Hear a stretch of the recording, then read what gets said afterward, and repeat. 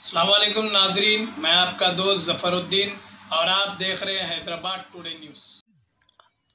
आज आप नाजरीन शहर Hyderabad west zone task force ने किया गांजा सीज और एक शख्स को किया गिरफ़्तार। नाजरीन तफसीत के मुताबिक west zone task force inspector Shri Gattu Mallu और उनकी टीम ने एक तला पर गांजा बेचने वाले इक्कीस साल पवन सिंह, जो धूलपेट का मुकामी है, इसको गिरफ़्तार कर लिया।